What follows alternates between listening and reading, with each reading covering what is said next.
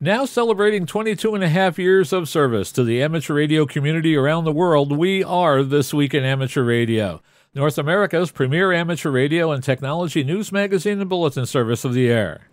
Here are the stories for release around the earth as we come to air with edition number 1172 of This Week in Amateur Radio.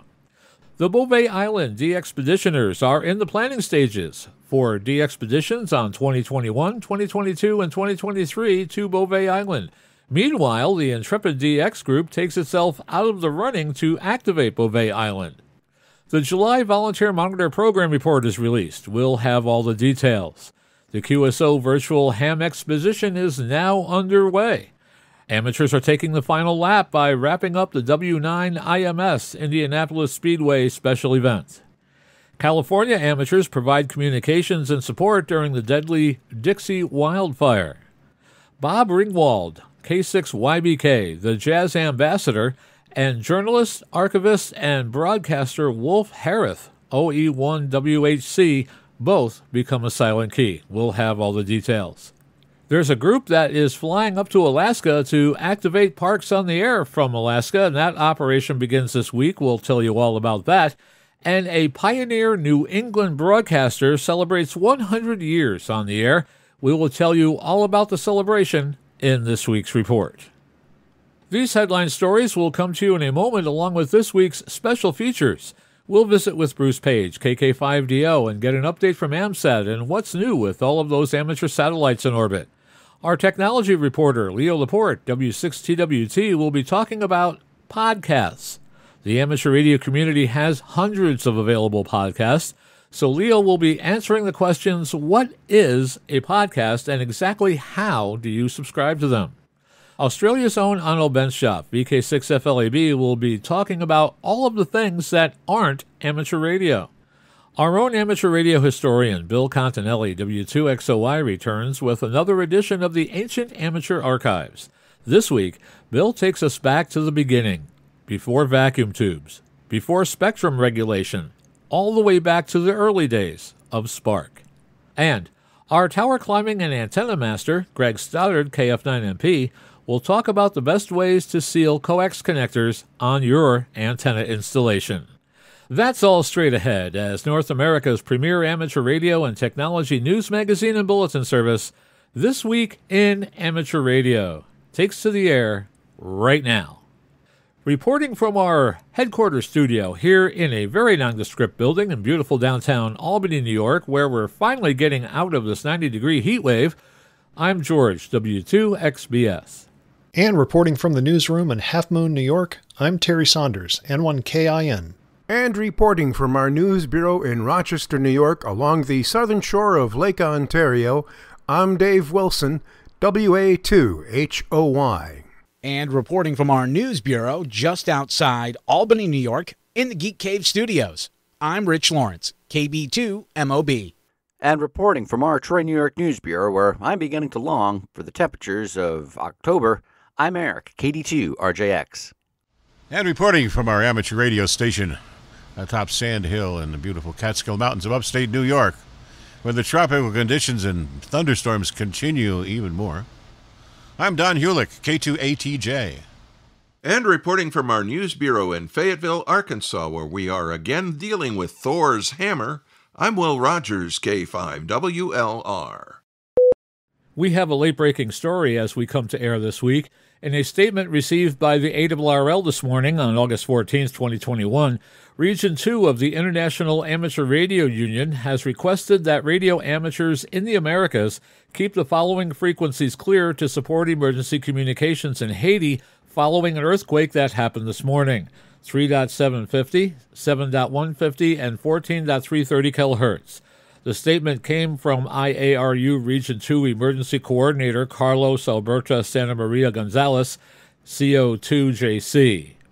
According to preliminary information from the United States Geological Survey, a 7.2 magnitude earthquake struck Haiti this morning at 1229 UTC, about 12 kilometers northeast of St. Louis de Sud and 33 kilometers to the east northeast of Les Cayes. That is 18.352 degrees north and 73.4801 degrees west at a depth of 10 kilometers. Mr. Jean Robert Gaillard, HH2JR, president of the Radio Club of Haiti, reported significant structural damage, and international news reports fear there may be high casualties. Once again, the frequencies that Haiti requested to remain clear here in the Americas is 3.750, 7.150, and 14.330 kilohertz. And now, with this week's lead story, here is Terry Saunders, N1KIN.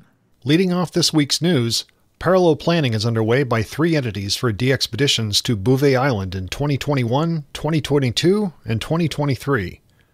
The remote volcanic glacial subantarctic island in the South Atlantic is the second most wanted DXCC entity, according to Clublog. In June, the Intrepid DX Group canceled its 3Y0J expedition planned for 2023 after the RV Braveheart was put up for sale. Not long after, the Intrepid DX Group revived its plans and was seeking a suitable vessel. On August 8th, a expedition using the 3Y0J callsign announced the signing of a contract with the expedition vessel Marama, a 101 foot sailing ketch with a proven track record and experienced polar crew. Co leaders for the November 2022 effort are Ken Opskar, LA7GIA, Rune Uy, LA7THA, and Aaron Marin, LB1QI. Opskar, who holds the 3Y0J license, split from the Intrepid DX Group DXpedition effort he headed with co leader Paul Ewing, N6PSE. In a brief announcement on August 3rd, Ewing said that a Bouvet DXpedition team under revised leadership had found a suitable and affordable vessel willing to take us to Bouvet and was negotiating the terms of that charter contract. Ewing's co leaders would be David Jorgensen, WD5COV, and Kevin Rowett, K6TD. The Intrepid DX Group now must secure a new license and landing permission from the Norwegian Polar Institute. In a brief statement released on Friday, August 13th, Intrepid DX Group President Paul Ewing, N6PSE, said his team is pulling out of the race to activate Bouvet Island and looking elsewhere. We now find ourselves the number three team in line to go to Bouvet, the announcement said. The recent development is not comfortable for us, so we're now re examining the top 10 most wanted DXCC entities with a plan to redirect our efforts to an activation that will be most beneficial for everyone. We plan to activate a different rare and much needed entity in January slash February 2023. That is now our focus. Watch for more updates on this exciting new project. We wish our former 3Y0J teammates a safe and productive journey to Bouvet. Meanwhile, Polish radio amateur Dom Grzyb, 3Z9DX, says planning continues for a second expedition on Bouvet Island in late 2021, using the call sign 3Y0I.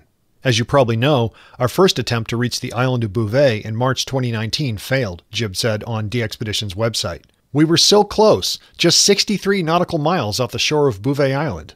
The reconstituted 3Y0J group under the LA7GIA slash LA7THA slash LB1QI triumvirate said in its August 8th announcement that it planned to begin fundraising immediately.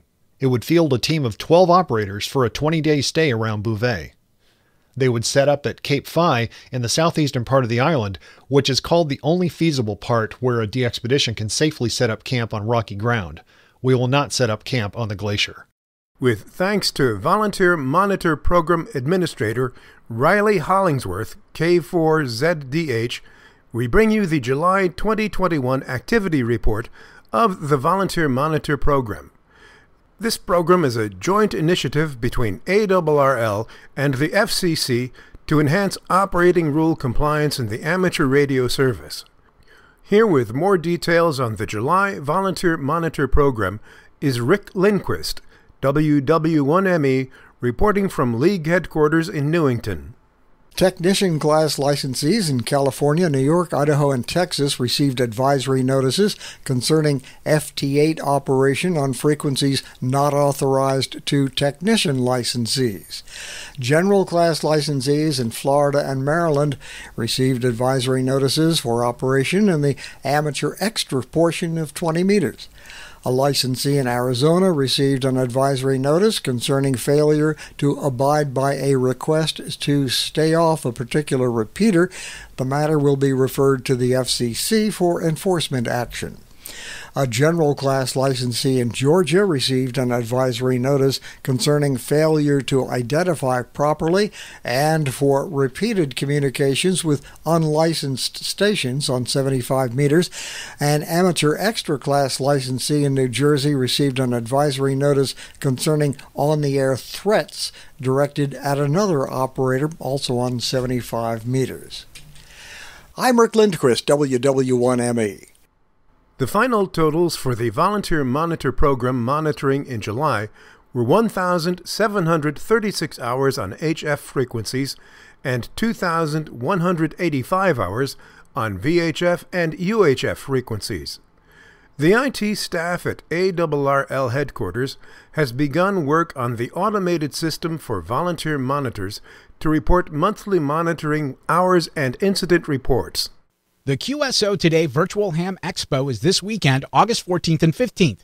You can register and visit the ARRL booth to connect with ARRL staff representatives in the video lounges on Saturday from 1500 to 2300 UTC and Sunday from 1500 to 1800 UTC. There will be in booth drawings and special offers for ARRL online store and for joining or renewing membership. On Sunday at 1500 UTC, that's 8 a.m. Pacific Daylight Time and 11 a.m. Eastern Daylight Time, ARRL Laboratory Manager Ed Hare, W1RFI, will present how to comply with FCC RF exposure rules in the virtual auditorium. Amateur radio has had rules regulating RF exposure for decades, Hare explains. The FCC recently announced changes to those rules that change the ways that all radio services determine whether they need to do an evaluation of RF exposure or are exempt from that need. I put together this presentation to explain the rules, the changes, and to answer the most common questions hams have about the rules and what is expected of them, he said. The ARRL is a QSO Today Virtual Ham Expo partner. In the United States and Northern California, nearly one month after its flames began, the Dixie Fire has become the second largest wildfire in that state's history. With the Dixie Fire knocking out communications and wiping one town off the map, and forcing thousands in Northern California to evacuate, a group of amateur radio operators helped emergency responders continue to get the word out. Lake Almanor Emergency Radio Net was on the air, trading real time information with one another and neighbors.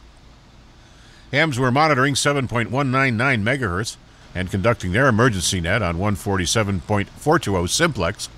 They also jumped in to help the Peninsula Fire Department troubleshoot their problems when the main firehouse radio failed along with repeater issues. Mark Burnham, K6FEJ, was one of the net's members and said that the modified 2 meter radios had to be installed in the fire chief's vehicle for backup and at the firehouse crew's headquarters. Mark said the Yaesu radio was modified by Iran NB6X to operate on the fire department frequency, and a 12 volt power supply and a J pole were added outside the building. The hams also set up a scanner on the main fire frequency near the firefighters' sleeping quarters, so they'd be able to hear calls. Another member of the net, Dale, KM6BQY, remained in the mandatory evacuation zone because he's also involved in search and rescue work. By the middle of the second week of August, the Dixie Fire was declared the largest wildfire burning in the U.S. It had already destroyed nearly 500,000 acres and is only 21% contained as we go to air tonight. Now, if you've spent any time just spinning idly across the amateur bands, you cannot fail to have noticed some signals which are very strong, very wide, and seem to crop up almost anywhere. And once established, they stay for days, sometimes weeks. Amateur transmissions tend to be relatively short and, of course, don't tend to stay on one frequency for days on end. So, these are probably intruders in our ham bands who may or may not have the right to be there. Fortunately, the International Amateur Radio Union has a specialist department which looks out for these stations and tries to keep our precious ham bands clear. Their latest newsletter has just been published. The latest report from the IARU Region 1 monitoring system suggests that the Pluto 2 over the horizon radar system at the UK sovereign base area of Akrotiri in Cyprus may have been causing interference in several amateur radio bands. Besides the well known daily encountered intruders, there were also some newer and rather rarely heard signals that were noticeable. For example, the CHN 30 burst signal from China, which was repeatedly encountered on different frequencies in the 40 metre amateur band. Western NATO military systems were also more active in our bands. Signals such as MIL 188, Link 11 CLEW, STANAG 4285 and STANAG 4481, as well as various ALE transmissions. ALE stands for Automatic Link Establishment. From further afield, FSK ARQ and PSK ARU emissions, with typical 600 baud, 600 Hz or 1200 Hz parameters, have been conspicuous from time to time. They're known as DPRK 600 and 1200 respectively, and are attributed to North Korea. For many days in the last month, a Link 11 CLEW station was active on 7159 kHz in double sideband mode, about 6 kHz wide, and at times causing heavy interference. This station has regularly attracted the attention and the wrath of radio hams in the 40 meter band. Predominantly the over the horizon radar systems, for example, the Russian container, as well as the British Pluto system from Cyprus, were annoying. On 14301.9 kHz, an orthogonal frequency division multiplexing data transmission called OFDM60 could be found from time to time. And some broadcast radio stations interfere regularly in the amateur bands. First of all, Radio France International is on 7205 kHz, just above the 40 metre amateur band, but it splatters down to 7186 kHz late in the evening from 21 to 22 hours UTC. The Voice of the Broad Masses, which is the official radio station of Eritrea, based in Asmara, is regularly found in the amateur band on 7140 and 7180 kHz. CRI, China Radio International, is often found on 14 kHz exactly, due to intermodulation from 13855 and 13710 kHz. On 18080 kHz, the Sound of Hope from Taiwan, which is also often being jammed, is sometimes audible if conditions permit. The International Amateur Radio Union Monitoring System Region 1 July 2021 newsletter can be found at www.iaru-r1.org and recordings of military transmissions can be found on the Signal Identification Guide wiki at www.sigidwiki.com. That's www.sigidwiki.com. Hams from the Algerian National Society ARA had begun assisting with emergency communications as deadly forest fires swept through the northern region. The International Amateur Radio Union Region 1 reported that at least 65 lives were claimed by the blaze raging in the town of Ouacif in the province of Tizi Ouzou. Operating on 7.110, 3.650, and 14.300 MHz, hams were establishing communications between the mobile station in Ouacif and the crisis center in Tamda. We will have more details on this story as they become available. Dwayne, W4FDT, and Doug, N4DJR, will be flying to Alaska on August 11th to meet up with Jeremy, KL7EC, and Eric, KL5BO, for an 800 mile interior Alaska Parks on the Air activation. They have a list of around 25 parks they're going to attempt to activate. However, the team suspects that they won't be able to activate all parks on the air, but they will be able to activate a good majority of them, and will be focusing on those that haven't been activated before.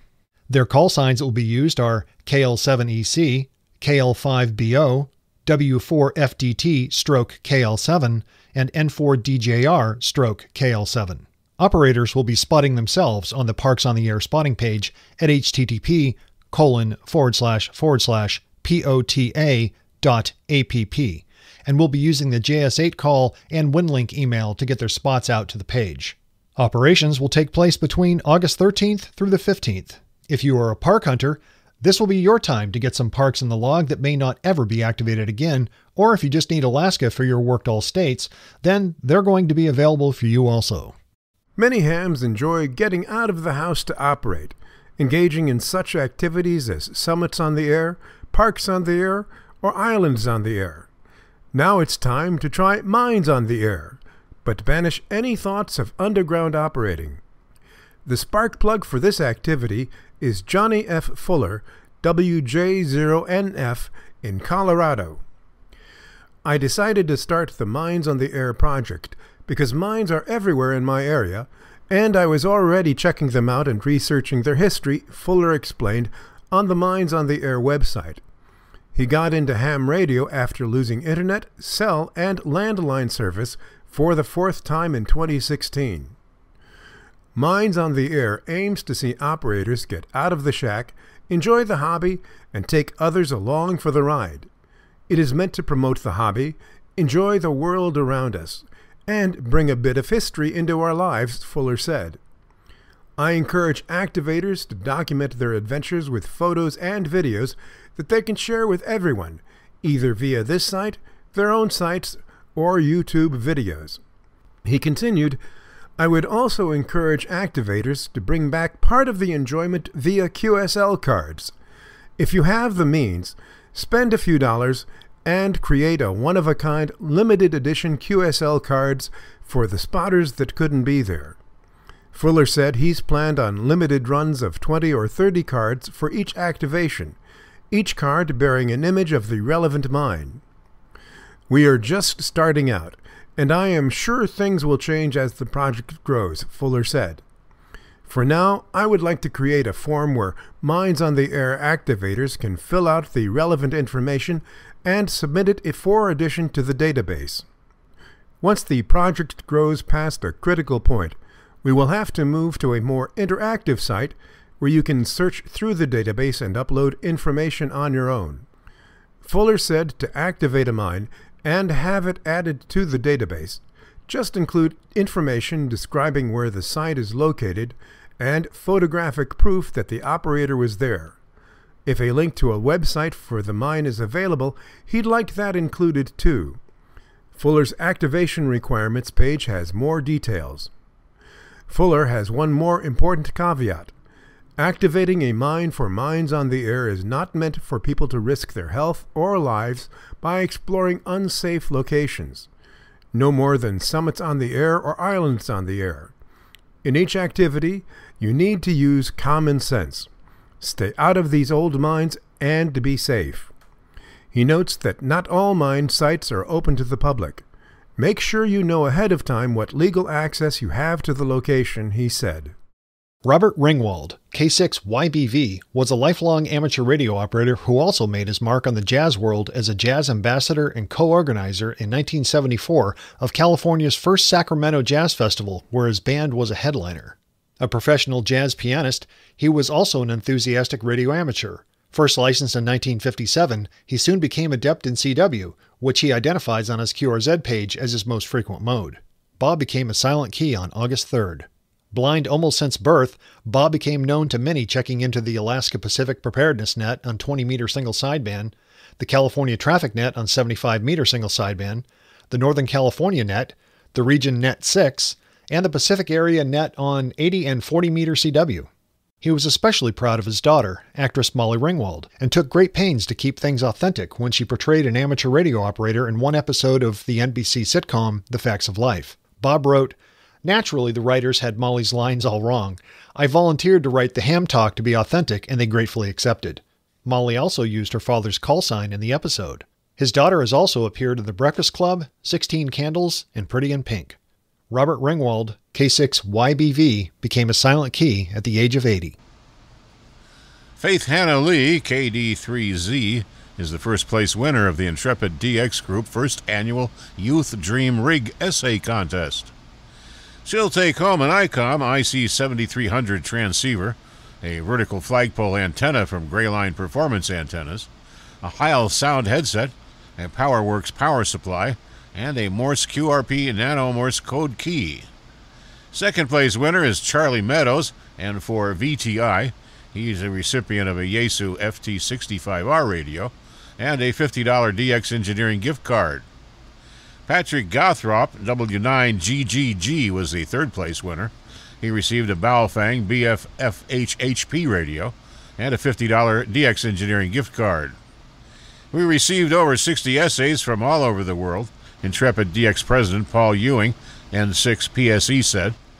The essays were unique in thought and very well articulated. Extra points were given for proper grammar, punctuation, and spelling. Most of the essays gave a unique perspective on how to reach out and connect with the youth of today. We can tell you that our search and our youth was full of great ideas. Most of the essays gave unique perspectives on how to reach out and connect with the youth of today. We can tell you that our youth was full of great ideas and brimming with enthusiasm to keep our hobby alive well into the future. The Intrepid DX Group plans to publish several of the essays on its Facebook page. The Radio Society of Great Britain has announced further details of its online convention, which will be held on Saturday, the 9th of October. The event will be streamed live on the RSGB YouTube channel, and there will be a great lineup of expert speakers to inspire you. The keynote speaker's presentation will be announced shortly. Whether you're new to amateur radio or have been enjoying it for years, do put the date in your diary. The RSGB will be releasing more details over the coming weeks. You can find out more from the convention web pages www.rsgb.org forward slash convention. There will be two lecture streams, an introduction to and learn more about. You can stick with one stream or dip in and out of both. The choice is yours. Some of the topics promised are soldering, skills, ideas and tips, SOTA, POTA and IOTA, QRP Expedition Fun. Club log for absolute beginners, having fun with electronics, coding an amateur radio, software defined radio, the VP8 PJ 2020D expedition to the South Orkney Islands, and precision microwave engineering, the fun of making your own components. There will be an interactive question and answer session after each presentation, and there'll be a live feed and content from the RSGB National Radio Centre. Coming up, how podcasts work and how best to subscribe to them. And now, with the latest technology news and commentary from Petaluma, California, This Week in Amateur Radio is proud to present Leo Laporte. Uh, welcome. Good to see you. I stumbled upon podcastindex.org earlier today, and it piqued my interest. I was under the impression I could access all podcast shows and apps, but apparently not. From what I understand, there are multiple podcast indexes out there which all have different content. Yes and no. So, podcastindex.org is a venture from Adam Curry, the podfather, one of the early, uh, in fact, perhaps the earliest podcaster. Adam uh, was instrumental in getting RSS feeds to be amended by Dave Winer, the creator of RSS, to include audio files or any binary blob, but audio files or video files is what makes it a podcast. So, podcasts, the definition of podcast is uh, like this an audio show you can download, you can listen to or watch, doesn't have to be audio, I should say, any show, audio or video. Here you are watching me if you're watching the video uh, that you can download. But the key is that there is a directory, an RSS or really simple syndication feed that is updated whenever there's a new show. Why is that good? Well, there used to be a lot of RSS readers out there. Google Reader, the best known, but there were a great many of them. There, we've gone through the great RSS winter, but in the in 15 years ago, 16 years ago, when podcast first started, people would follow uh, the RSS feeds of their favorite blogs in an RSS reader. Instead of going to the website of the blog, they'd go to the reader and they'd say, when there's a new blog post, they'd see it there and they would read it. So, what Adam convinced Dave Winer to do is add audio or video files to that so they could also go to their RSS reader and they'd see, oh, there's a new version of the Tech Guy available, new edition of it, and they could press the play button and listen. It wasn't very long before dedicated podcast applications were written, and they worked the same way as a as any RSS reader. Uh, you would subscribe to the podcast, usually by typing in a URL, and then from then on, whenever the podcast was updated, the podcast client would download the podcast so you could listen to it. In the early days, it was most commonly iTunes. So people would set up iTunes with a subscription. The podcast would be downloaded. And then whenever they synced up their podcast, their iPod, remember that? You had to plug it in to your computer and you'd sync it up and it would copy the podcast over to their iPod and they could then listen. We've come a long way. Nowadays, almost all podcast consumption comes over phones, but still people often use podcast clients, and there are a lot of them. The number one is still iTunes, but Pocket Casts is also very popular. Perhaps you use Overcast or Stitcher or Slacker. Maybe use the Apple Podcast app or the Google Podcast app. These are all applications that are really just RSS readers that subscribe to the RSS feed of the podcast. And whenever there's a new show, download it so you can listen to it. Subscribing to a podcast really just means download it whenever there's a new one. Keep an eye on it. Whenever there's a new one, download it. All right. So, why do we need podcast directories? Well, every podcast app has a directory. If you go to Pocket Casts or Google Podcasts, you'll see suggested podcasts. You'll see a list of podcasts. You'll see a search. All of that is a directory that is provided by the podcast client. In the case of Google, it's all the podcasts available in the Google Play. Uh, in the case of Apple, it's iTunes. It's all the podcasts available on iTunes. And the reason Adam started Podcast Index is because some podcasts have been blocked. Alex Jones, for instance, is blocked on iTunes. You can't find his podcast searching the iTunes directory. I suspect it's the same with Google Podcasts and probably most other podcast clients. So Adam says he wants to create a uh, a podcast index free of corporate entities' influence and finance. Don't censor me. Well, it is true that directories are an important way that podcasts get discovered. For instance, if somebody told you, oh, Leo Laporte has a podcast called Ask the Tech Guy, you might open your podcast client and search for Ask the Tech Guy. And if it's not in that directory, you wouldn't find it. But this is an important point. You wouldn't find it in Podcast Index either because it's not using Podcast Index. I think Adam's idea is maybe he's going to create an index that future podcast clients will use. But most podcast clients, certainly Google and Apple, the two big ones, are they there's some editorial control. That's they do control it. They are gatekeepers, and they're not going to use Adam Curry's directory. They're just going to keep using their own directory. The good news is the iTunes directory is easy to get into. If you create a podcast, one of the very first things you're going to do is go to the iTunes podcast section and add your podcast. And what you're adding, by the way, is the address of the feed. The feeds usually end with XML. That's the format that RSS understands, but there are some other extensions. But that's that's the key. Now, I have to tell you, that's not the only way to find a podcast. And so what I'm going to show you today is if you know you want a podcast, yeah, you could look in the podcast directory, but you should never be stopped just because you didn't find it. For instance, uh, you won't find Alex Jones' podcast in there for a variety of reasons, but you can always Google it. And that Google directory is a little different. It's a lot harder to get kicked out of Google.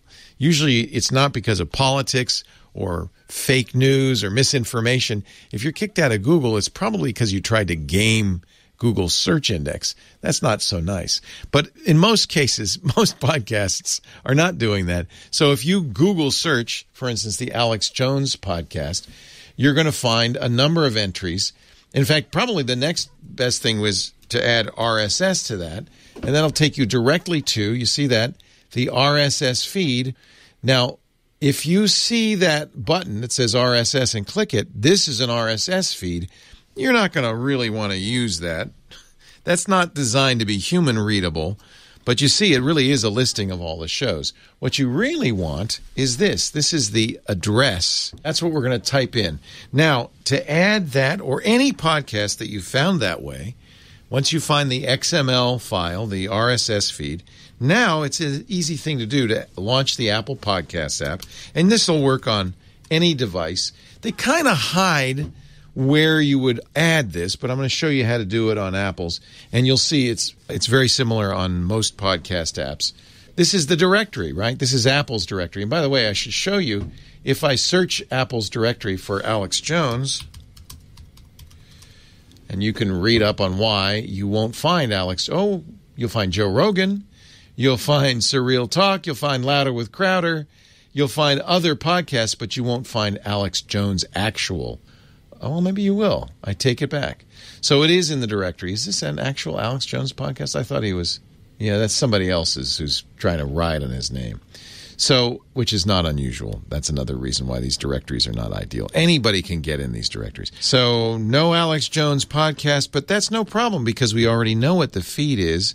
If we go to the file menu for the podcast app, you'll see add a show by URL. Now, this will have some discovery features. So even if you don't have the actual XML feed, you can often just paste in a web page and it'll find it. But watch, I'm going to paste in the Alex Jones feed, press the subscribe button. Ah, and now I have it. That he is in my library now. So that's all you really need to do is paste that URL in. And again, that URL is not necessarily in every directory but it's almost always going to be in Google. So the trick, if you want to find a podcast and you don't see it in your directory, is to Google the podcast name and maybe RSS feed and find the actual link. We at Twit, we actually have a page dedicated to RSS feeds. It's our subscribe page. So if you go to twit.tv slash subscribe, some links. So for instance, here's Ask the Tech Guy. And you'll see links to audio and video. Now, we do link directly into Apple Podcasts. That is not an RSS feed, that's a link into their directory, or Google Podcasts or YouTube. But you'll notice you'll also see this button that says subscribe via RSS. You're looking for that, and there it is, that familiar gobbledygook that's RSS. But there's the feed address, and that's what you want, which is feeds.twit.tv slash atg.xml. You could enter that address into any podcast client. I'll show you what it looks like on the uh, iPhone because it's a little bit different on the iPhone. You're looking for a way to enter in a URL directly. So because I've added this by the way on my Macintosh, you see the same podcast is there. I'm going to delete that because I don't I don't really want to get that podcast added. So I'm going to delete that from my library. But how would I add an arbitrary podcast if I if I do a search and I don't see it? Well, I can uh, always go to my library. So click the library tab, hit edit, and that's where you're going to find the magic add a show by URL. And you can type in or paste in uh, the URL for the RSS feed and subscribe to it, and you'll get it. So you can do this manually quite easily. Well, but maybe not as easily as in a directory. So, why do we even have podcast directories? Well, certainly every app should have a directory. And in the perfect world, every app would have a directory that includes all podcasts. But frankly, there are so many podcasts, hundreds of thousands at this point.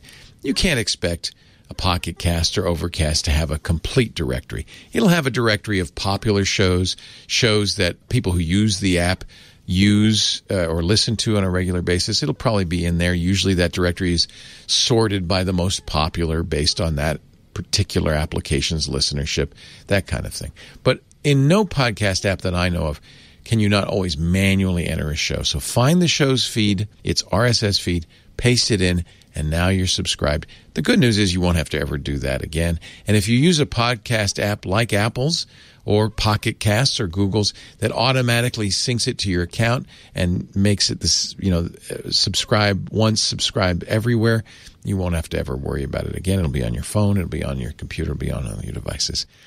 I think Adam probably is I don't know why Adam's creating this. I think his heart's in the right place. He says, you know, why shouldn't there be an index of every podcast? But understand, in order for that to work, every podcaster in the world has to add their podcast to that Adam Curry's podcast, index.org. And by the way, that's not the only one. There are dozens of these. We get solicitations all the time from people who say, add us to our, add, add you, add yourself to our podcast index, add yourself to our, po-. and frankly, I don't see the advantage. I want to be on iTunes. I want to be on Overcast. I want to be on Pocket Cast. We are. But I don't really care that much if I'm on a bunch of random podcast directories that nobody ever searches or looks at. If you're on Google, oh, by the way, you should have a website. And if you're creating a podcast, make sure somewhere clearly on that website is your RSS feed, maybe a button or a link that says, here's our RSS feed, so that somebody looking for you can find your website and find that feed and add it to their client. So to answer your question, I'm not sure why Adam has created this. I think it's probably not necessary. Adam has done something similar in the past. You may remember Pod Show, which became Mevio. he calls that a podcast network, but really his goal was to get every podcast in the world on that thing. That failed, and uh, maybe he's trying to do it again. I don't know. We'll add ourselves to Podcast Index, sure, but I wouldn't say that it's a necessity for anybody. It's it's not necessary.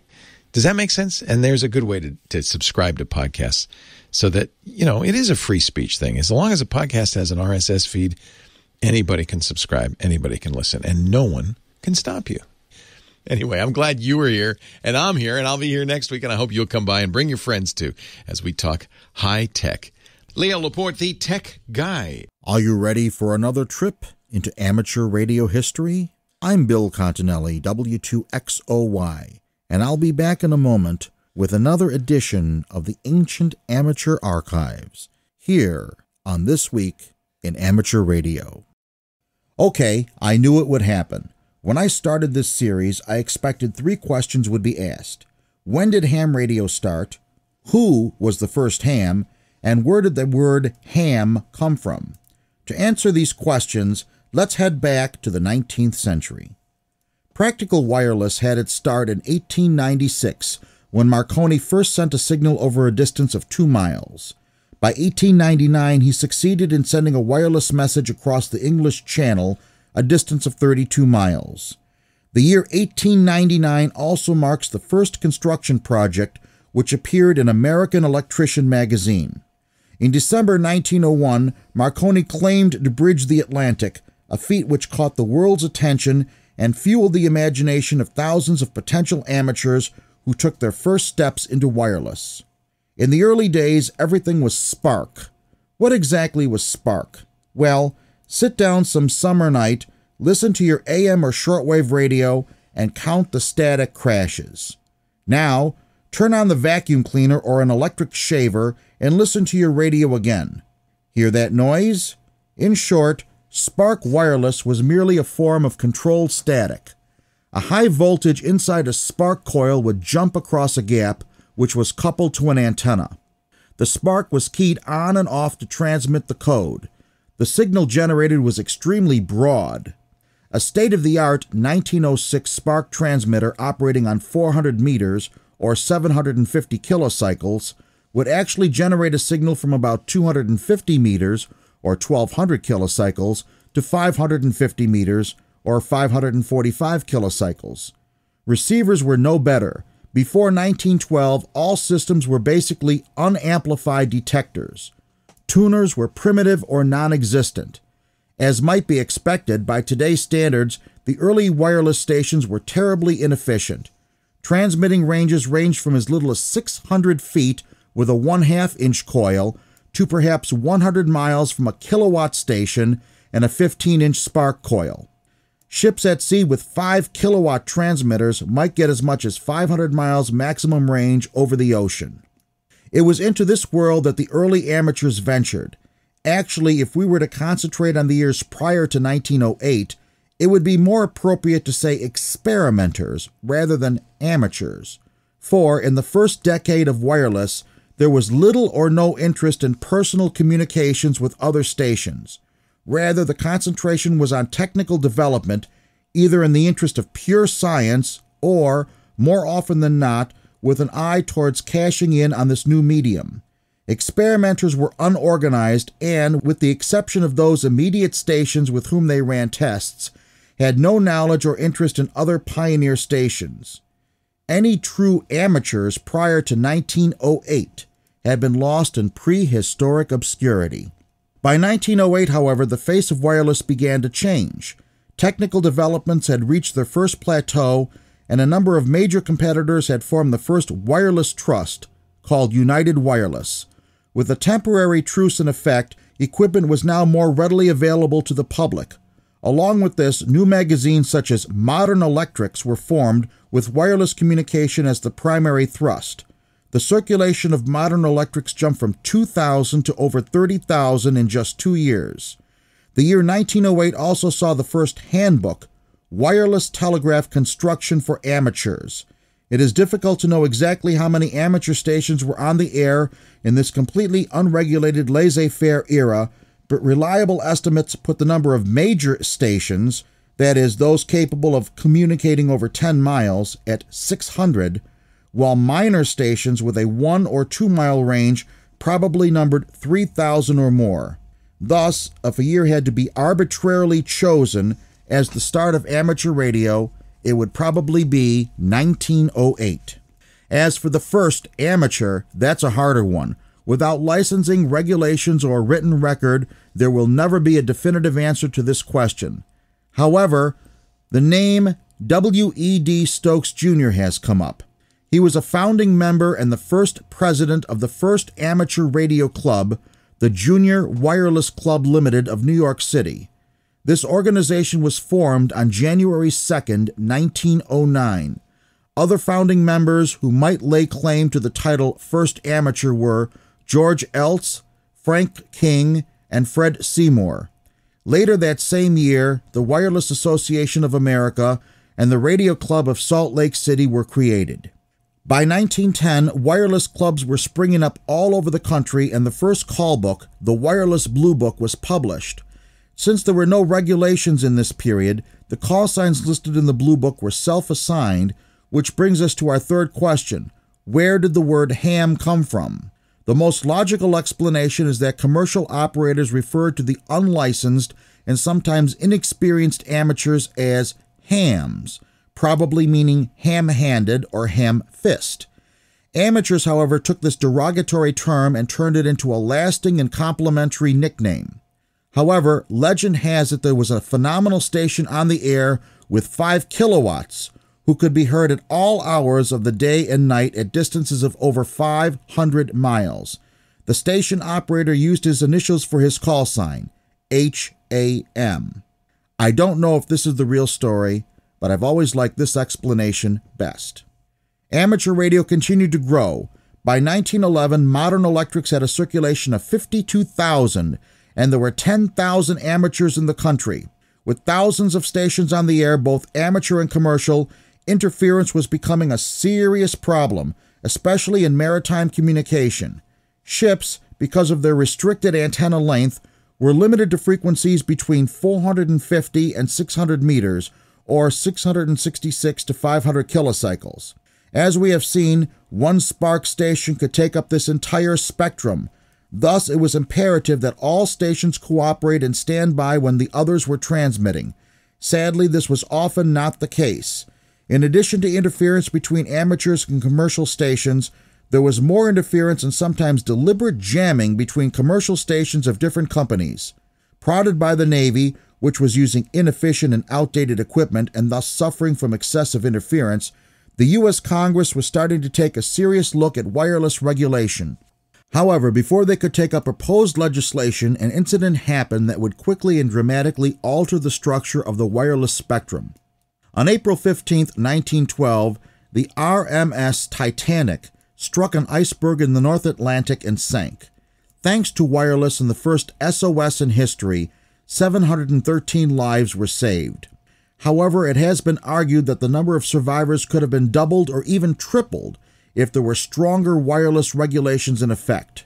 We are going to keep a sharp eye on the Titanic and on a 22 year old experimenter in Yonkers, New York, who would soon be making some major contributions to radio. So, until then, keep that spark gap adjusted and those raspy CQs coming. We'll catch you next time on the Ancient Amateur Archives. This is Bill Continelli, W2XOY, for this week in amateur radio. SpaceX, Elon Musk's giant California based space technology company, has acquired a satellite communications company co founded by an amateur radio operator. The merger makes Swarm Technologies a wholly owned subsidiary of SpaceX. Swarm, which specializes in Internet of Things technology and low cost satellite connectivity, has asked the FCC to transfer control of its Earth and space station licenses.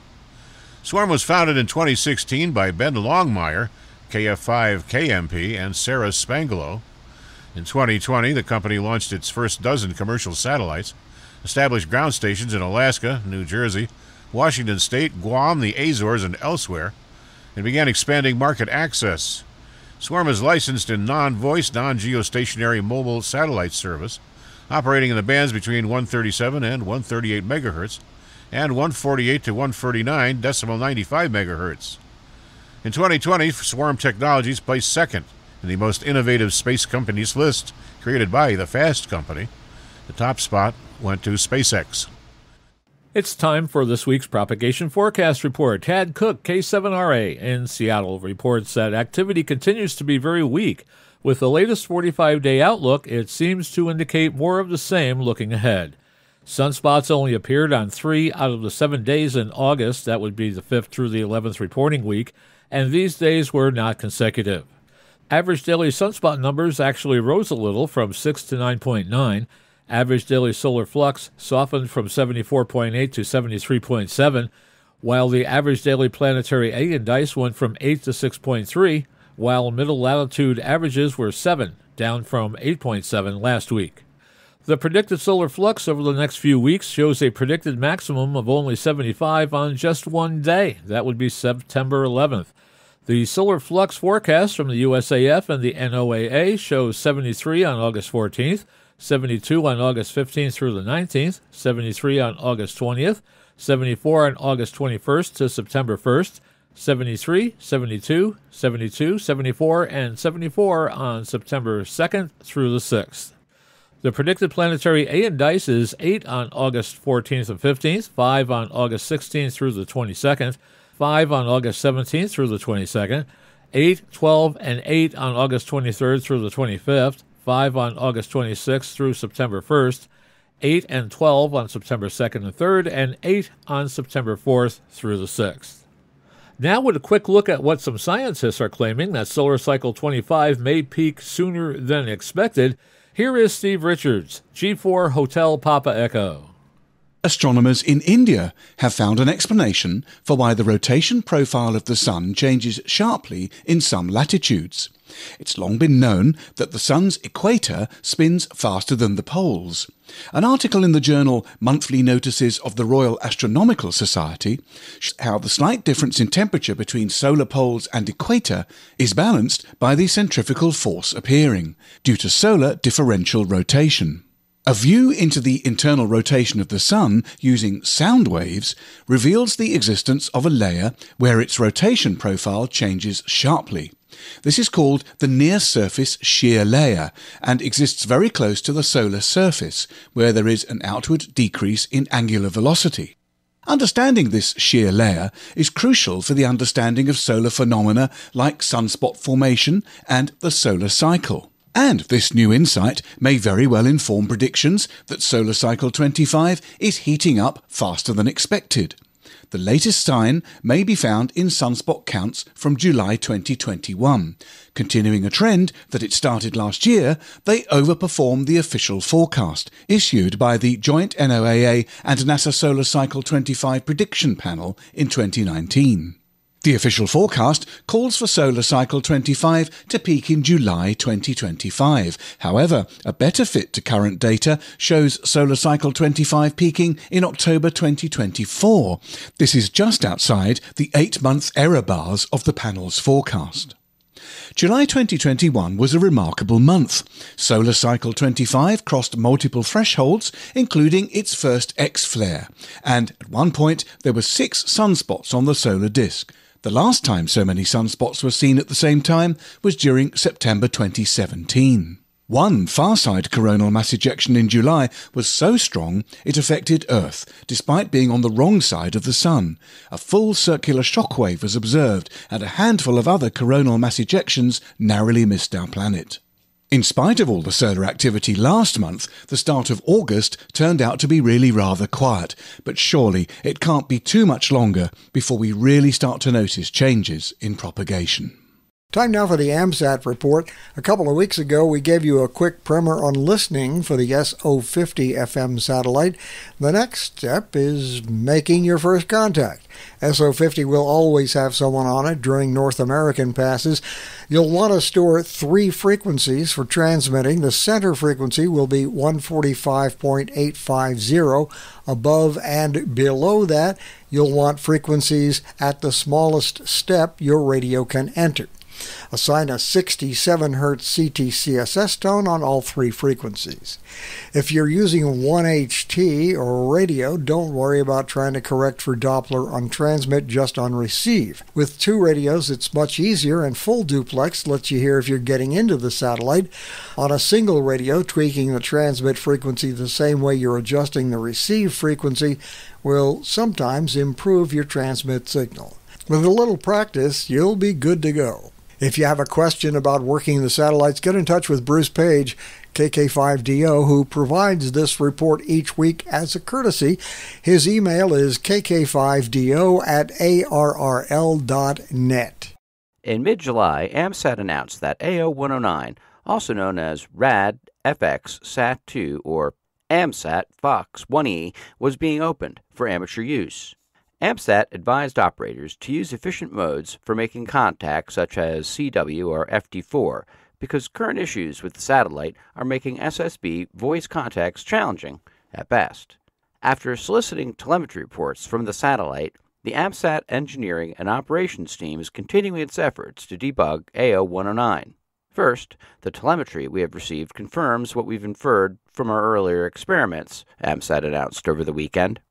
It said antennas are open, AO 109 is in transponder mode, and the spacecraft does receive commands successfully, especially from a strong command station.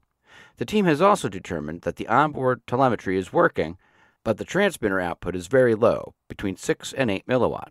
You can compare this to our pre launch testing, which showed power output of somewhat over 100 milliwatts as designed. AMSAT said it's hypothesizing that one of the dual power amplifier chips has failed. Efforts to command higher output from the telemetry modulator into the mixer and power amplifier resulted in no change. It may imply that 8 milliwatts is the highest to expect from the transponder as well, AMSAT said. AMSAT said some data for the Vanderbilt University commercial off the shelf radiation experiment have been retrieved. Vanderbilt funded AO 109. Conceding that its Earth stations will require more robust receiving capabilities, it continues to solicit telemetry from AO 109. Both for Vanderbilt University and for our own engineering testing, we would really appreciate even a few frames of telemetry that any stations can receive, AMSAT said. AMSAT provides a web page at amsat.org that reports on the health of AO 109. Hams in Hyderabad have found a homebrew solution to make communication via the QO 100 satellite easier for other amateurs. They have designed prototype converters that will enable the hams to use the transponders on board the geosynchronous satellite. The prototypes include both up converters and down converters. Homebrewers Sasi Bhushan, VU2XZ, and A. Amarendra, VU2AAP, told the Telangana Today newspaper that the converters eliminate the need for such expensive equipment as software defined radios. They said the system works in a way similar to a TV set top box that receives programs beamed from satellites, converting radio waves into signals for the TV. The circuit boards within the converter are designed to communicate via the 10 GHz frequency for downlink and the 2.4 GHz frequency for uplink. Sasi said the first hams to be given the opportunity to use the converters are members of the Lamakaan Amateur Radio Club in Hyderabad. A transverter is also in the works, combining uplink and downlink capability. As summer comes to a close, members of the W9 IMS Special Events Station are busy wrapping up another week of worldwide contacts during the annual Brickyard Race. As the official amateur radio club for the Indianapolis Motor Speedway, the W9 IMS group has been logging hundreds of contacts during the Indy Grand Prix, the Indianapolis 500 mile race, and now the Brickyard Race. The official numbers will be tabulated in the coming days, and then each contact will receive a special QSL card designed for each event. Those stations that made the log for all three races will receive a commemorative certificate as well. This is the 18th year for the W9 IMS Special Event Station, and despite weak band conditions this spring, Early reports indicated that they logged over 6,000 contacts during the first two races. The W9 IMS team is hoping to double that amount in the final race of the season. Foundations of Amateur Radio.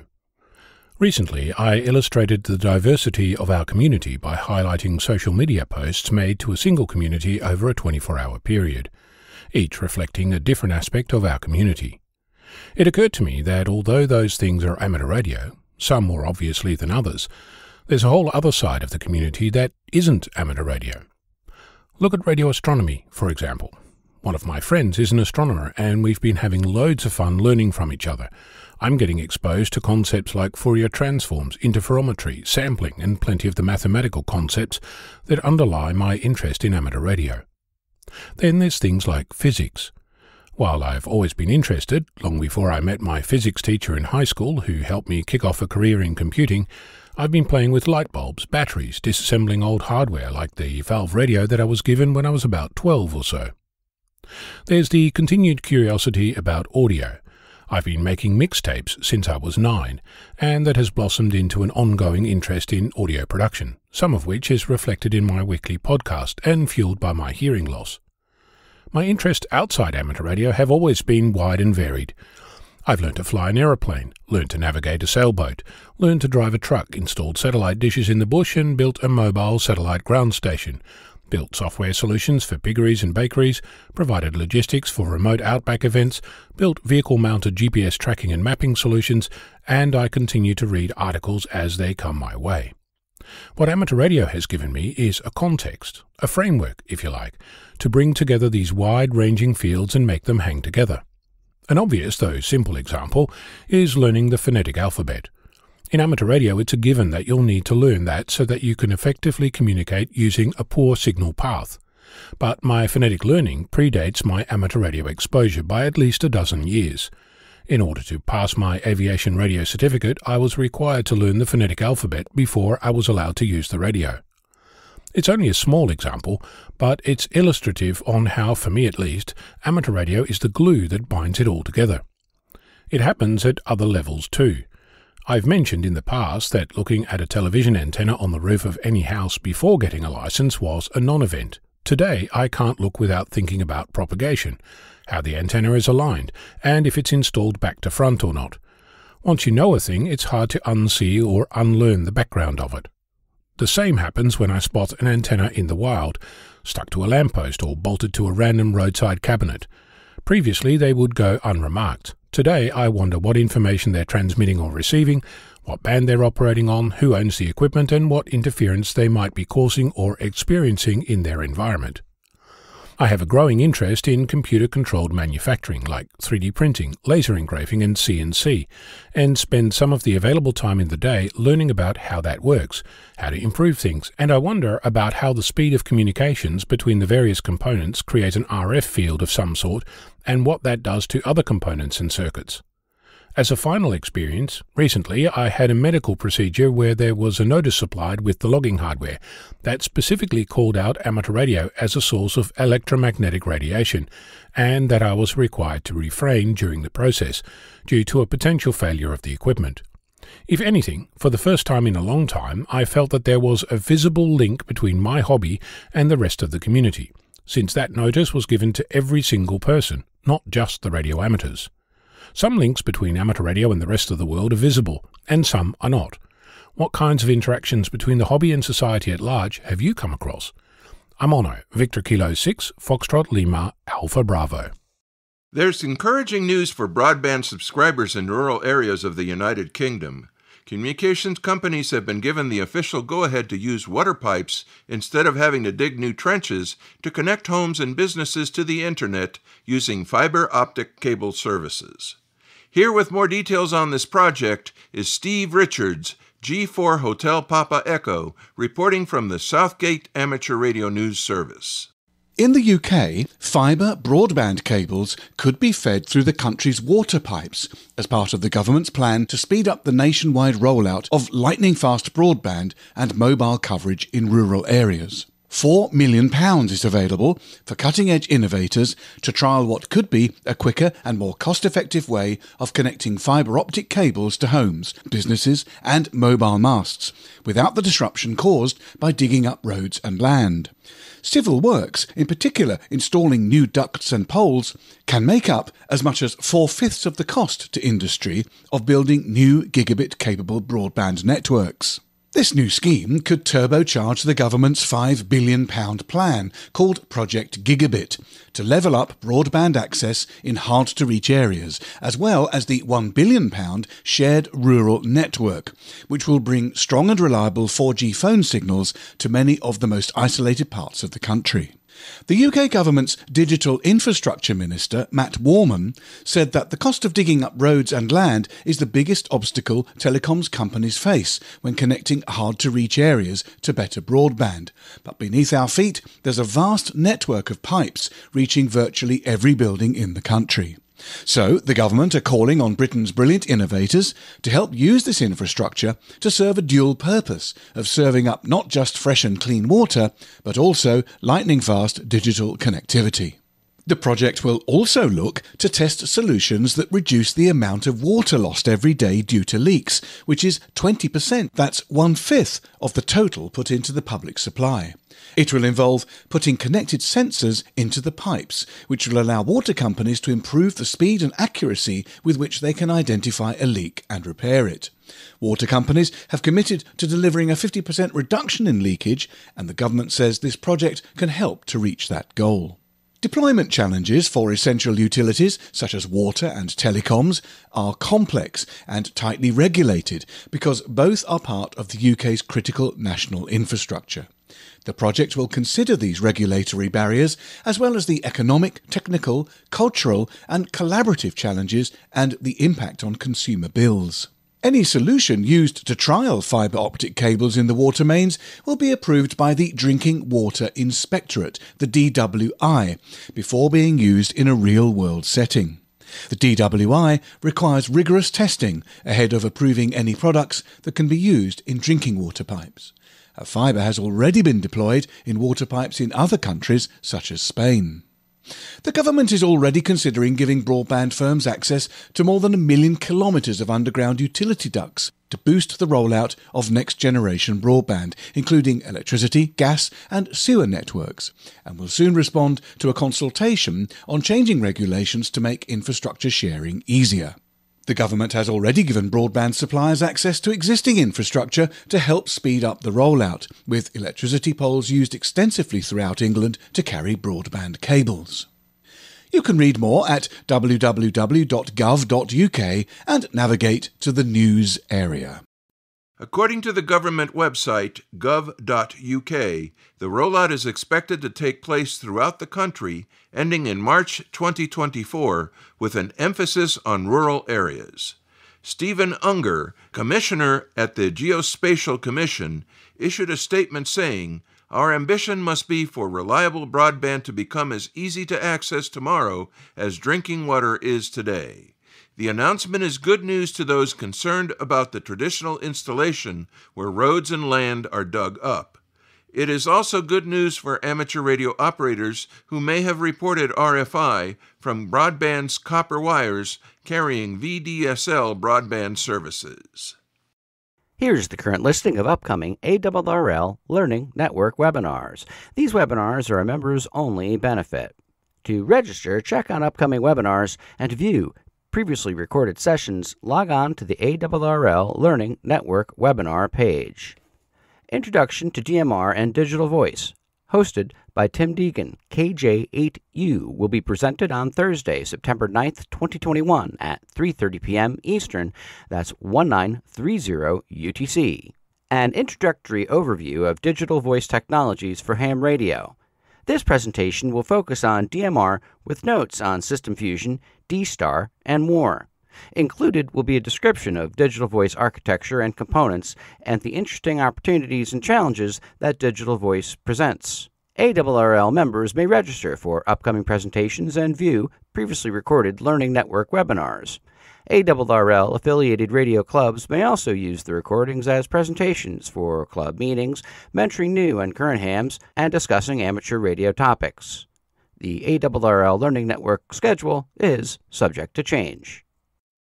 TV and radio services for more than a million people in the UK will remain off the air indefinitely after a transmitter fire. The blaze at the 315 metre tall Bilsdale mast last Tuesday disrupted Freeview, DAB, and FM radio signals across North Yorkshire, Teesside, and parts of County Durham. Operator Arqiva said that it would bring in temporary equipment, but could not say when services would be restored. Ron Needham had been hiking on the North York moors with his wife Sue and reported seeing a huge black cloud of smoke coming from the buildings at the bottom of the mast. Initially, they noticed nothing untoward when they stopped near the mast for lunch, but after walking on for about a mile and a half, they noticed smoke coming from the top of the mast like a chimney, Mr. Needham said. Despite the loss of transmission from the tower, BBC Television remains available on iPlayer and radio stations can still be listened to on BBC Sounds. The BBC News website reported that firefighters were sent to the location at 1319 BST on Tuesday after a call from an engineer working on the transmitter, which is located near Helmsley in the North Yorkshire Moors. North Yorkshire Fire and Rescue Service said that there were concerns about the structural integrity of the mast and a 300 metre exclusion zone was in place around it. It also said the cause of the blaze was being investigated but did not believe it was a result of a criminal act. Owner of the mast, Arqiva, confirmed no one was injured in the fire and thanked emergency services for their swift action. A spokesperson said that they had started the process of gradually restoring services using a combination of temporary structures and existing infrastructure elsewhere in the region, and will be moving through the process as quickly and as safely as possible.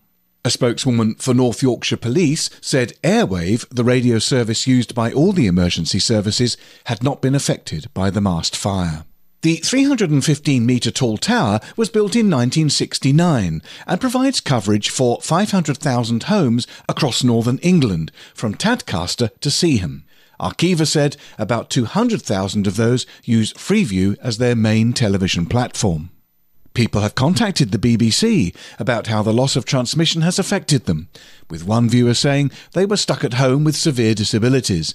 They said, I really relied on this. There's only so many books I can read in a day, and I can't hold them for long. Another viewer in North Yorkshire told how their 86 year old neighbour lived alone and had no broadband. They said that they'd fitted a Wi Fi extender to their internet and given her their Amazon Fire Stick so she was able to watch television. She's okay now, but many elderly people don't have people to help, they said. The services affected include TV channels on the PSB 1, 2, 3, COM4, 5, 6, 7, and LTV television multiplexes, BBC Radio Tees, BBC Radios 1 to 4, and BBC DAB. Commercial radio stations affected were SDL, North Yorkshire DAB, Bauer Teesside, Digital One, TFM, Capital, Heart, and Classic FM. Sky, Freesat, and cable services are not affected. Coverage of BBC Radio Tees on DAB is reduced, but some reception should continue for most listeners, and there's no need to retune. And now, with his segment on tower climbing and antenna safety, here is Arizona's own Greg Stoddard, KF9MP. Here's a subject most hams have had to deal with on towers, on the roof, or on the ground waterproofing coax connections. Let's look at the four most popular products I know of. The most commonly used product I know of is called Coax Seal. This stuff is sold on small rolls, about a half an inch wide and 60 inches long. It is easy to apply to clean and dry surfaces. At the size sold, one roll does not cover much except maybe one or two small connectors. My experience with coax seal is it stands up to the elements well over a period of years and is somewhat reusable for the first months in the environment. On a commercial tower, the white strips of paper fly away nicely in a gentle breeze. Being sold on a roll, it is easy to secure several to a climbing belt like rolls of electrical tape. In a tool bag, it tends to get squished into shapes that make it hard to use. Another method of protecting connections is with liquid electrical tape. This stuff is commonly sold in small, 4 ounce cans at the hardware store. These small cans are similar to those used for PVC cement and include a brush. This substance is similar to a solvent dissolved polymer, perhaps even rubber. Since it is kept in a liquid state with solvents, which evaporate when it applied or when the can is left open, you probably don't want to smoke while the can is open. After application with this product, the protective layer tends to be much thinner than with the wrap type sealer. This does make an excellent underlayer when using a wrap-on sealer. For ground level connections where repeated layers can be added, this stuff is both easy to use and a good value. Liquid electrical tape probably cannot be applied over coax seal, but it can be applied onto less than perfect surfaces. But again, clean and dry is best. According to the label, multiple layers can be added if you allow the stuff to set for about 5 minutes. Since it is sold in the can, it rides along in the tool bag but is easily dropped. Although I've only seen one, this one used a couple of times, some people still use electrical tape to seal coax connections. I do not recommend using electrical tape unless it is used as a cover over one of the wraps or brush on sealers. The problem with electrical tape is it ages poorly when exposed to sunlight, moisture, heat, and more it tends to start to unwrap over time, crack, or get brittle. When you've installed as many antennas as I have, you've probably read some mention of how thickly you can cover a connection before you mess up that antenna's ability to shed rainwater. So the bottom line on, on electrical tape is I will not recommend using it as a primary protective layer. The fourth method I know of is similar to coax seal on rolls. Some commercial climbers use insulation wrap for automotive air conditioner systems. There are lots of brands available, so you'll have to go to several auto parts stores to hunt for the really good stuff. This wrap is much wider and thicker than coax seal and comes on a roll just like coax seal. This is made to be wrapped on metal tubes coming in and out of automotive air conditioner compressors to reduce dripping of water, improve efficiency, and protect from the elements. Since it is made to stand up to the elements and is also cost effective, the only startup cost for you is doing the research and finding a brand and a supplier. There are lots of different kinds, so look for the one most like coax seal and test it on your own before using it on someone else's antenna. Oh, yeah, there is one more similar to coax seal. It is sold in a toothpaste type tube. I've never used any, so I can't comment on how it holds up to Mother Nature or how it is to use. If anyone out there knows how the sealant in the tube works, or a brand name of the automotive air conditioner wrap that is ideal for tower work, please email me your information.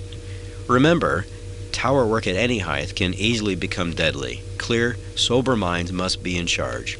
Money spent on books, videos, and climbing gear is well worth the investment. This is Greg Stoddard, KF9MP, reporting for This Week in Amateur Radio. A change in rules this year is permitting some new first timers to get on the air for the 41st annual contest of the Australian Ladies Amateur Radio Association being held this month. The newest entrants are YLs who are in scout and guide groups, and they'll be using their club's equipment and call sign. Linda, VK7QP, writes in the Alara newsletter, the YL Beam, that the event on August 28th and 29th is a friendly contest and a chance to start learning how to operate a contest. YLs of all ages will clearly have the run of the field here. YLs get to work everyone. OMs are only eligible to work YLs. The 24 hour event will offer a combination of SSB and CW contacts.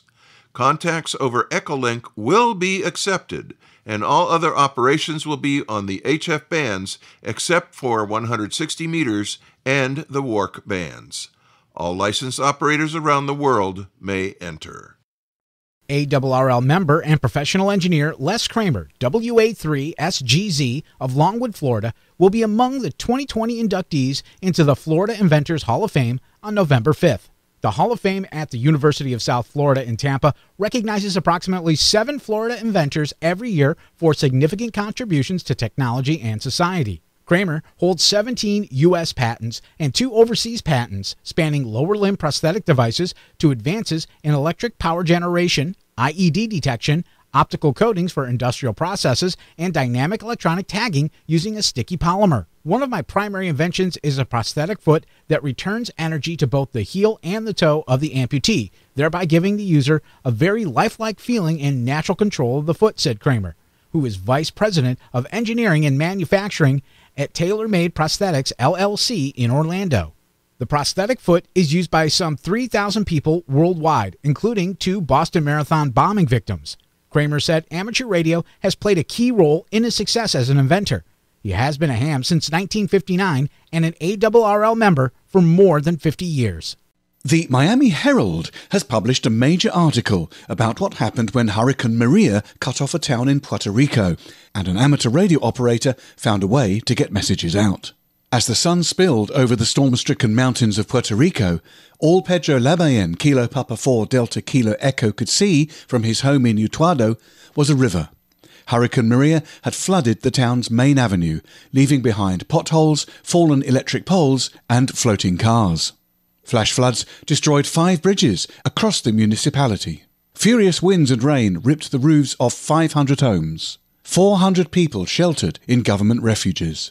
Landslides of sandy, volcanic soil destroyed mountain roads. Behind Pedro's home, three elderly bedridden sisters perished under an avalanche of mud but he didn't yet know the proportions of death and destruction that surrounded him.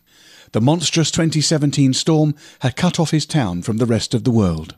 Power did not come back onto the town centre until months later, and it took a year for some remote parts of Utuado to get electricity back. Equipped with the ham radio technology he'd loved for decades, KP4DKE set up a communication system over the airwaves that spanned international borders. It enabled residents to tell loved ones they were alive, coordinate aid for people in need, and notify authorities about new developments. He founded the Community Emergency Communications Plan of Utuado. And now the homegrown network of ham radio operators empowers the mountain municipality's residents, offering avenues for crisis communication that are resistant to hurricanes, earthquakes, and other natural disasters. In 1970, at the age of 19, Labayen studied for his first ham radio license, allowing him to send and receive transmissions on regulated airwaves. In the foyer of his home, in the town centre, Pedro set up a hardware and school supply shop.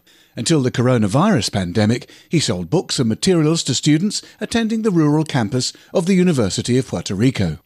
Between customers, he tuned into the radio in his store. Of amateur radio, KP4DKE said that apart from being experimenters, we are ambassadors of peace and good between countries, and we exchange our cultures. Radio amateurs are linked to emergencies. When storms come, phones aren't available. Pedro said, I would participate in these events and I would go to civil defense with my gear.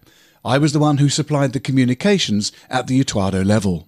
When Category 3 Hurricane George devastated Puerto Rico in 1998, KP4DKE was able to communicate with foreign embassies. When Army members in Fort Buchanan, the only US federal military installation in the region, couldn't reach out to their superiors in the United States, Pedro linked them. Twenty years later, Hurricane Maria arrived. The storm struck Utuado and the rest of Puerto Rico with a fury that no living generation had ever witnessed. Like millions of others, Pedro and his wife were left in shock attempting to grasp the destruction of the landscape before them. But before Maria arrived, KP4DKE tucked away the antennas that usually stuck out from his house like metallic trees to protect them from the storm. In the aftermath of the hurricane, he set up a simple transmitter on his roof with the help of a neighbour. A solar panel and a car battery energized his equipment, and Pedro began to scan for signs of life in the vast airwaves. He called out, and a station in the neighbouring Dominican Republic responded, breaking the stillness. Pedro said, I told the Dominicans I need help, and they said, no problem. Neighbours and strangers started showing up at Pedro's house, bringing hundreds of written messages to his doorstep for him to send out over the radio. He would send signals out every morning over the Mona Passage that separates Puerto Rico and Hispaniola. When radio stations in the Dominican Republic responded, the bridge, as the system came to be known, settled into place. In the afternoons, Pedro would make his way on foot to the broadcast radio station WUPR that was miraculously still on the air. Along with the station's anchor, he read the replies townsfolk had been praying to hear. As help began to trickle in and officials restored power and cleared roads, people who'd witnessed Pedro's work during Hurricane Maria approached the radio operator. They wanted to learn how to communicate over the airwaves too. He taught his first class of 15 people at the local emergency management office. Then, when 100 people signed up from the towns as far as the coastal cities of Arecibo and Hatillo, the teacher and the students migrated to a municipal theatre. Now, under his Community Emergency Communications Plan for Utuado, every neighbourhood has at least one licensed radio operator who can go on the airwaves should telecommunications collapse. Local authorities and emergency services, including police, hospitals, and firefighters, became part of the network. Families and individuals not licensed to operate as ham radio users were taught to use regular handheld radios to send and receive messages over public frequencies. One new recruit, Zulma Dueño, Kilo Papa 4 Zulu Delta Romeo, joined the Utuado Radio Amateurs Association, the backbone of the community plan that Pedro still leads. From a table in her kitchen, surrounded by the ham radio certificates and awards she's received, Zulma chats away with other local operators. She said, as soon as a storm passes, I can communicate with the police. I can communicate with medical emergencies. I can communicate with another town. She said, The Amateur Radio Association for me is a family because if anything happens to you, they quickly help. The much more detailed full article, written by Syra Ortiz Blanes, can be found on the Miami Herald website at www.miamiherald.com. Just head for the World Americas area, and there are plenty of photos and a video to see there too. Wolf Harranth, OE1WHC, OE3WHC of Vienna, Austria, died on August 3rd after a brief illness. He was 79. His work as a journalist and broadcaster focused on electronic media and computing. For many years, he worked for Radio Austria International, ROI, where he hosted several programs of interest to shortwave listeners and radio amateurs. These included the German language Kurzwelle Panorama, later Medien Panorama, and finally Intermedia. He was also the founder of the Dokumentationsarchiv Funk, the radio documentary archive. What began as a QSL card collection is now a considerable archive on the history of radio and the amateur radio service, with many contemporary historical documents. The archive now holds some 9 million items, including the legendary Yasme Colvin collection and more recently the HZ1AB QSL collection, making it the world's largest institution with archival records and collections of any kind on the history of radio, with a focus on broadcasting and amateur radio. The holdings are accessible free of charge and are constantly being added to. Less well known is Harranth's work as a literary translator. He was awarded the Austrian State Prize for Literary Translation and the International Astrid Lindgren Translation Prize, among others, for this work. He translated classics such as The Jungle Book and The Adventures of Huckleberry Finn. In 2017, Harranth received the Roy Stevens G2BVN Memorial Award, International Amateur Radio Union Region 1's highest recognition for excellence in amateur radio for his decades of effort and work on the Dokufunk archive. And finally, this week, radio station WBZ in Boston is celebrating its 100th anniversary in 2021. The spirit of New England, WBZ Boston. It is the oldest broadcast station in New England and one of the oldest stations in the United States. The Billerica Amateur Radio Society, along with the Hampden County Radio Association in Springfield, will be commemorating this anniversary by conducting a special operating event starting at 1300 UTC or 0900 AM Eastern Daylight Time, September 17th, and ending at 0359 UTC, September 20th. WBZ began operations on September 15, 1921, at the Westinghouse Works building on Page Boulevard in East Springfield, Massachusetts, broadcasting with just 100 watts. In 1931, Westinghouse moved the station to Boston. Its 15,000 watt transmitter was moved to Millis. By 1933, Westinghouse increased WBZ's power to 50,000 watts. In 1940, the transmitter was moved to Hull. The station was made famous with its slogan, The Spirit of New England. After World War I, wireless radio grew with an increase in ham radio operators. Amateurs greatly contributed to the advance of the radio arts. One of their contributions was the development of voice modulated radio signals, which used amplitude modulation. WBZ first broadcast using amplitude modulation 100 years ago. For their efforts, amateurs were granted permanent privileges for frequencies in the 80, 40, 20, and 10 meter shortwave bands by the International Treaty in 1927. The partnership of commercial broadcasting and amateur radio hobbyists was very beneficial to all. Amateurs using the call signs W1W, W1B, W1Z, and WB1Z will make two way contact with other amateurs across all bands on single sideband, AM, CW, and digital modes. A special QSL card will be sent to anyone who contacts one or more of the special event stations and sends a card accompanied by a self addressed stamped envelope. The card will feature historical photos of WBZ over the years, as well as a special 100th anniversary WBZ logo. A historical sheet will also be available for download.